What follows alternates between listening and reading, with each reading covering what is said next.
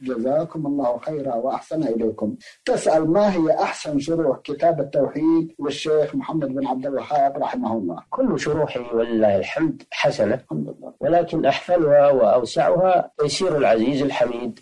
في شرح كتاب التوحيد للشيخ سليمان بن عبد الله حفيد المؤلف رحمه الله. هذا هو أحسنها وأوسعها. فتح المجيد مختصر له.